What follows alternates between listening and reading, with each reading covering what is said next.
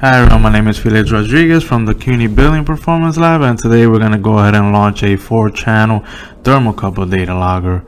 Um, here is our launch window which basically we're going to go ahead and do a boiler uh, supply and return temperature measurement and as you can see in our com sensor configuration we have uh, two channels, uh, one that we're going to go ahead and do a thermocouple uh, T-type for our supply water temperature and the other one for our return water temperature.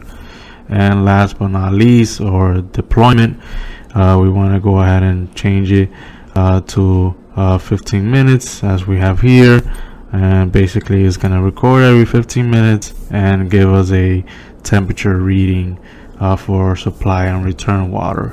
If we want it uh, smaller, we can also do a small sample if we need to. For this case, an example, we're just to leave it as uh, 15 minutes.